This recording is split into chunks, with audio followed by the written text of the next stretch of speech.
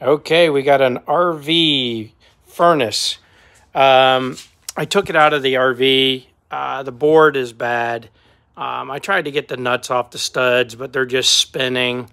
So just pulled it out, brought it home. The board came in today, so might as well just do it here at the house. That way I can slide this whole unit out and replace that board, put it back together, do a bench test, and uh, then I'll go and install it tomorrow in the RV.